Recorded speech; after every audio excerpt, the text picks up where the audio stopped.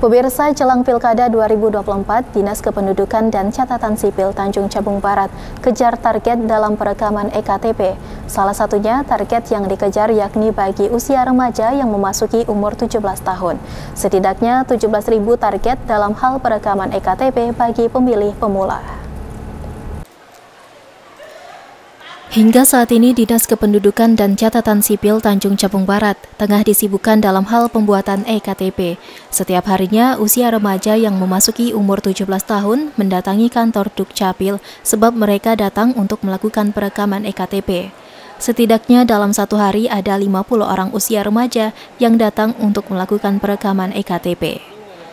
Dalam kesempatan ini, Kepala Dinas Dukcapil Azwar mengatakan bahwa hingga saat ini sasaran target perekaman EKTP yakni anak usia remaja yang memasuki umur 17 tahun.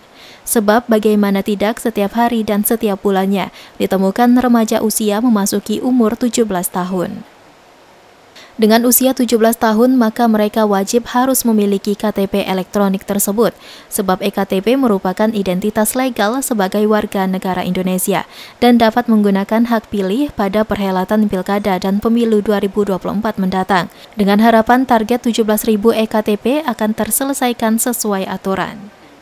Uh, untuk tahun 2022 sampai 2004 menjelang Pilkada dan pemilu, pemilu legislatif ada 17.000 orang yang harus kita selesaikan perekamannya sekaligus pencetakan KTP-nya. Uh. Itu khusus untuk pemilih pemula.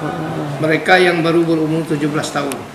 Dan ini sudah jalan, sudah jalan Rata-rata kita uh, satu hari di kantor untuk di kantor itu ada 50 orang pemilih pemula yang datang. Uh.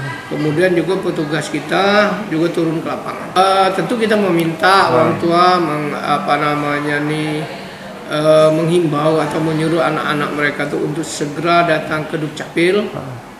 untuk segera melakukan perekaman. Begitu juga yang ada di di lapangan di sekolah-sekolah maupun yang ada di rumah yang pemilih calon pemilih pemula ini untuk segera melakukan perekaman dan kami siap untuk memberikan pelayanan sekaligus melakukan pencetakan nantinya untuk para pemilih pemula. Insya Allah belangku kita cukup.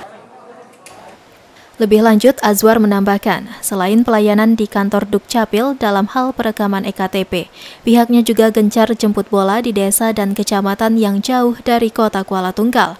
Dengan demikian, target 17.000 EKTP bagi pemilih pemula dapat terselesaikan. Ia juga mengimbau kepada orang tua agar dapat melakukan perekaman, terkhusus bagi anak mereka yang telah memasuki usia 17 tahun. Surya Kurniawan, TV, melaporkan.